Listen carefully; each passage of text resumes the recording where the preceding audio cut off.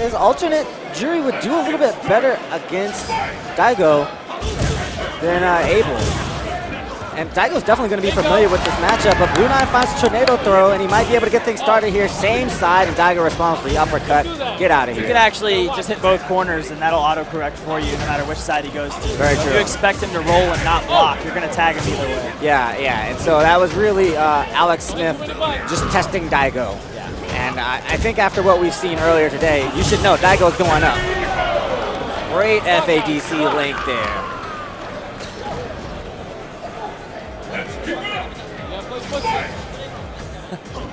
All right.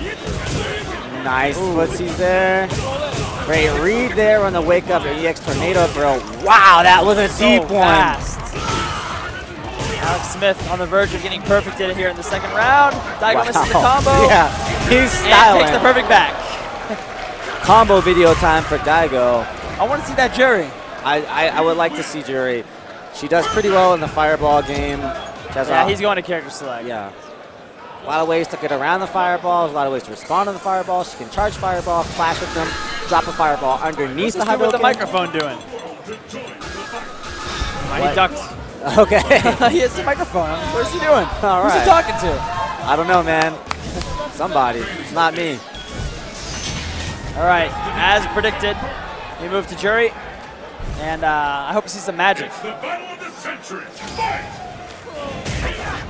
Wow, walks Stores right the fireball. in there. Yeah, gets knocked over right away. Daigo, that was Daigo putting him on notice saying, hey, guess what? I know how to fight this character too. I know exactly what your opening move is going to be, and here's a sweep for your troubles.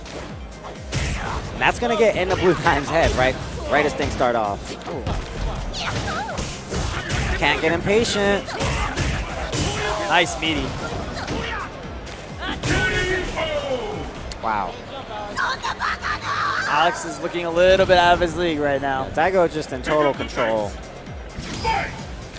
And it- it's not with any one thing in particular. That's why it's so tough for Alex. Oh, opportunity. Yeah. Moving to the corner. Oh no, that misses the mark, and Daigo's to unload. He's actually looking for that to try to break it.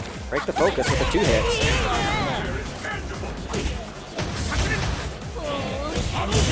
Daigo just walking oh. right up in there and Alex looking so flustered. forward.